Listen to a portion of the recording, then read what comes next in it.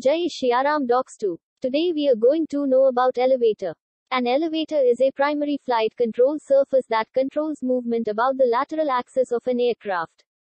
It means an elevator are flight control surfaces, which control the aircraft's pitch, and therefore the angle of attack and the lift of the wing which helps you climb and descend.